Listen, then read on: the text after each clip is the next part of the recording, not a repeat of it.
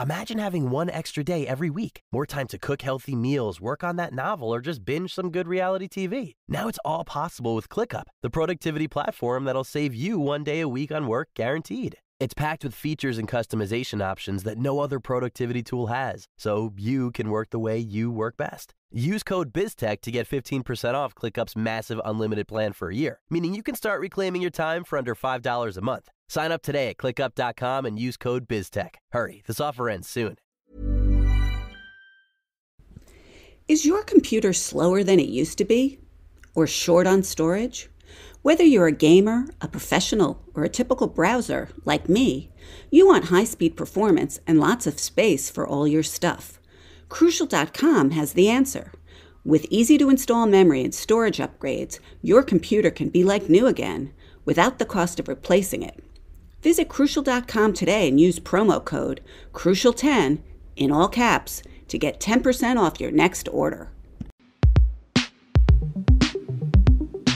This is Scientific American's 60 Second Science. I'm Karen Hopkin.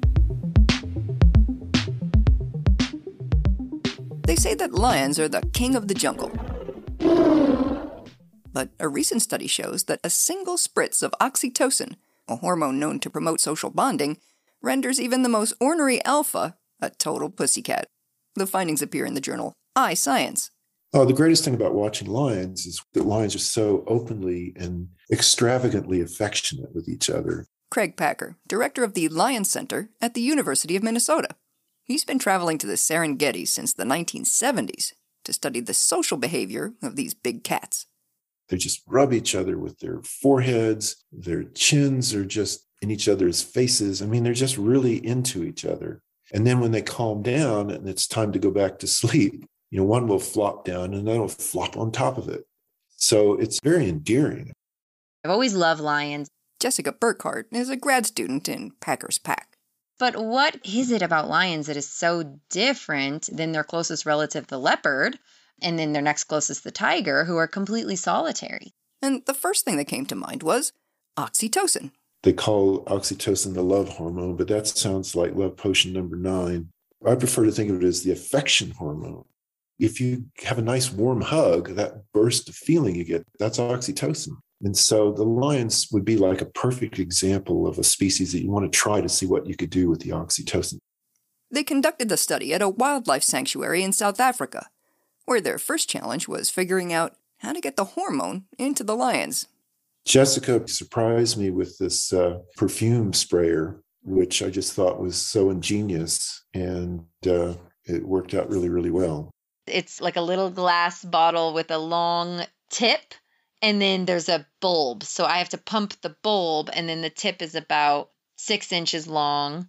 Burkhart would lure a lion over to the enclosure fence by waving a tasty hunk of meat once I hold that meat and the animal's grabbing it, I can kind of just stick it in the fence into their nostril and spray away. the cats put up with the nasal invasion as long as they got their grub. But if Burkhart spritzed a lion after the meat was gone, you should see their faces. They go, huh? Like, how dare you take a cheap shot on me? They take it personally. oh, it's so funny. The researchers then assessed oxytocin's effects in several different behavioral situations. The first was seeing whether the hormone would make a lion less territorial when it comes to a desirable toy or a snack. Normally, lions are pretty protective of their possessions, particularly those that can be eaten. They'll growl and they'll snarl and they smack and they scratch and they snap. So a lot of times you will just get this sort of reactive behavior where they're going to just kind of lash out um, to be like, get off. When it came to the toys, oxytocin did help to curb that reactive behavior, allowing other lions to come much closer.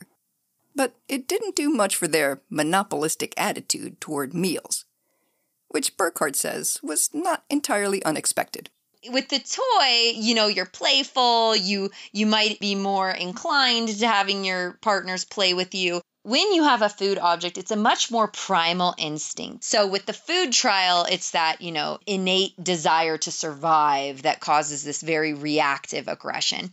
Seeing that oxytocin suppressed aggression in one situation but not the other actually reassured the researchers that the hormone wasn't just making the lions totally dopey It doesn't, you know, make your brain completely different, but it's like drinking your coffee in the morning. If you're a testosterone fueled grumpy Gus, it could render you almost delightfully demure.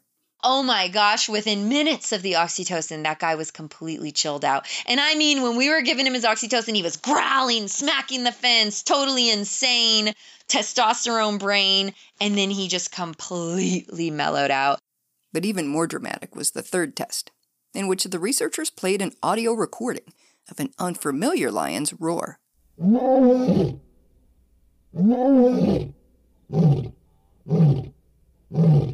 Which can be as unnerving as it sounds. That's like having a stranger in your bedroom saying, I own this place, right? Now, in the control conditions, in which lions got spritzed with a simple saline solution, about half of them roared in return, maybe 50 or 60 times.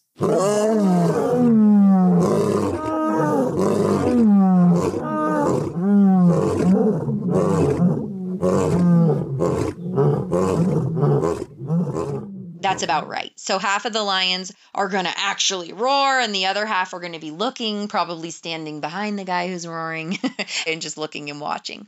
But when the lions were dosed with oxytocin, there were zero. I mean, zero. They they completely did not roar. That was astounding.